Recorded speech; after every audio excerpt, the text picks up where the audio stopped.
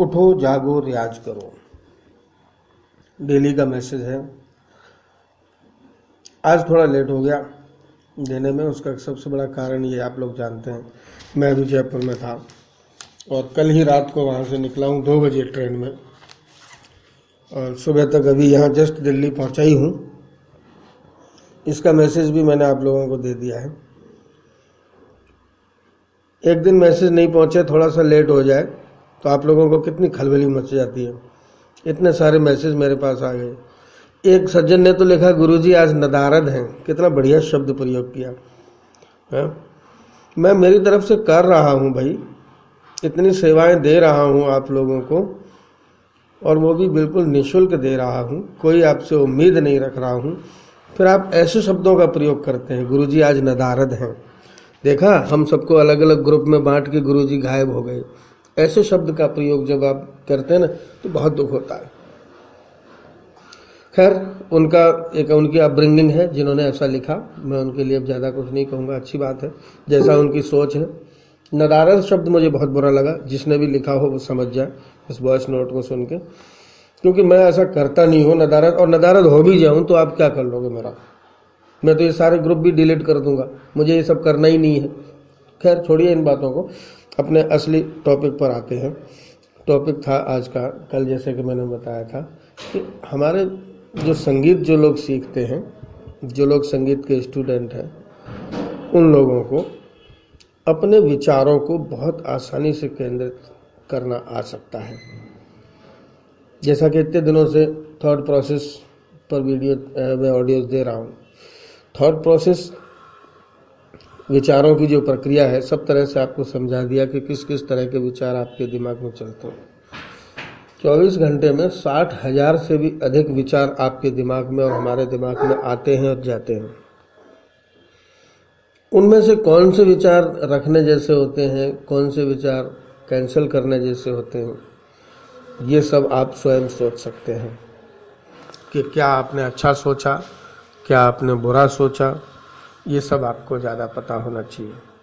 आप खुद के जज हैं। आप समझ सकते हैं अपने आप को कि मैंने क्या सोचा अभी भी। गलत सोचा या अच्छा सोचा? तो कोशिश आपकी ये रहे कि हमेशा अच्छे अच्छे विचारों को रखिए और उनको, उन पर अमल करिए। एक विचार को जब आप कई बार अपने दिमाग में घुमा देते हैं तो उस पर क्रिया होना शुरू हो जाती है। एक कोई विचार आता है छोटा सा जिसको आप थोड़ी सी देर में गायब हो जाता। अगर आपने उसको कैच नहीं किया तो वो थोड़ी सी देर में निकल जाएगा। फिर आप उस पर कोई काम नहीं कर सकते। सपोज़ मैं कई बार आ, मेरे दिमाग में कोई लाइन आती है कि मैं गीत लिखूं या कोई कविता लिखूं तो लिखना शुरू कर देता हूँ।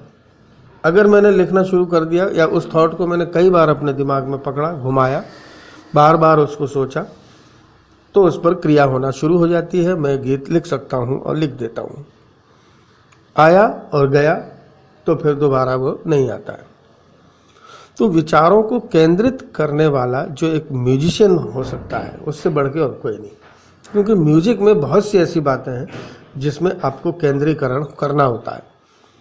सुर पर अपना पूरा दिमाग लगाना होता है। जब तक ब्रेन में सुर नहीं बैठेगा, जब तक आप उस सुर को सुनेंगे नहीं सुनने के माध्यम से सुर जो है ब्रेन में जाता है। तो जब तक आप उस सुर को ठीक से सुनेंगे नहीं, तब तक आपको वो नहीं समझ में आएगा। आप गले से नहीं बोल सकते। तो बहुत केंद्रित करना पड़ता है अपने दिमाग को।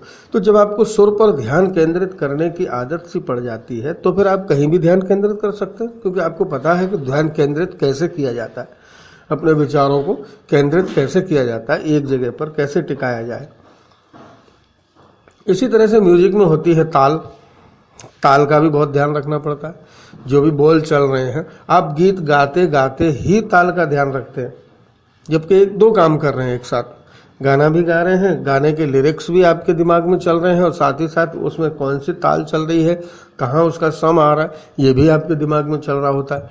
तो देखा, दो बातें, तीन बातें हो गई, गाना गाना। फिर अगर आप इंस्ट्रूमेंट भी प्ले कर रहे हैं साथ में तो और भी ज़्यादा विचार केंद्रित हो रहे हैं आपके उसी जगह पे।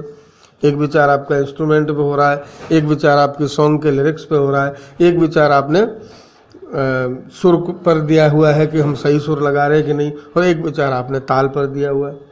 इसके अलावा सामने बैठी हुई ऑडियंस पर भी आपका विचार रहता है तो कितने ज़्यादा केंद्रित होते हैं? बहुत ज़्यादा केंद्रित होने वाला है एक म्यूजिशियन एक सिंगर और बताऊँ, उसके साथ साथ ऑडियंस के अलावा भी आपके साथ अगर कोई ऑर्केस्ट्रा वाले और भी लोग बैठे हैं, वो भी बजा रहे हैं तो उन पर भी आपका ध्यान जाता है। तो इतनी सारी जगह एक सिंगर जब ध्यान रख सकता है तो फिर उससे ज़्यादा सधे हुए विचारों वाला और कौन हो सकता है? बाकी लोग तो इतना नहीं कर पाएँगे जितना एक म्यूजिशियन कर सकता है, एक सिंगर कर सकता है। एक संगीत वाला व्यक्ति जो जितने ज़्यादा विचारों को केंद्रित कर सकता है, उतने कोई नहीं।